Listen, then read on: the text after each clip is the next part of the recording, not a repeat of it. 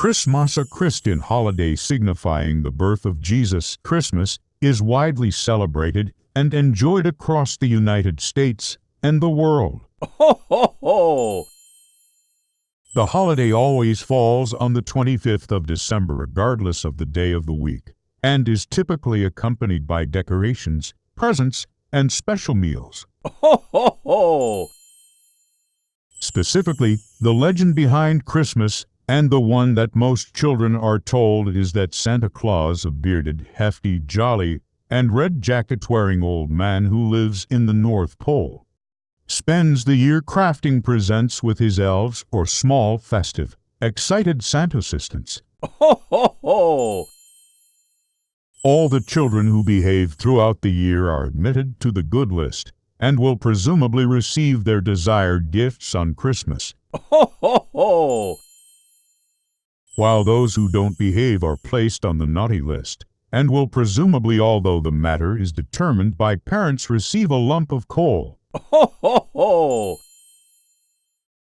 Santa Claus is said to fly around the Christmas sky in a sled powered by his magical reindeer cold resistant, mythically powered, individually named animals, Ho, ho, ho! delivering presents to each child's house in the process. Santa is also expected to slide through chimneys to deliver these presents. Ho, ho, ho!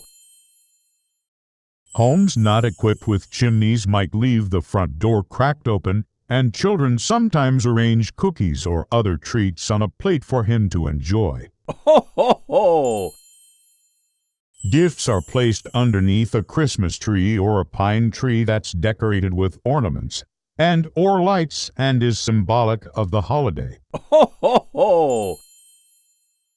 Additionally, smaller gifts may be placed inside a stocking or a sock-shaped, holiday-specific piece of fabric that's generally hung on the mantel of a fireplace. Ho, ho, ho! Homes without fireplaces might use the wall, a Christmas tree's ornaments, or hanging typically spherical decorations. Ho, ho, ho! In addition to the mentioned lights, may be accompanied by a star or a representation of the Star of Jerusalem that the Ho, ho, ho!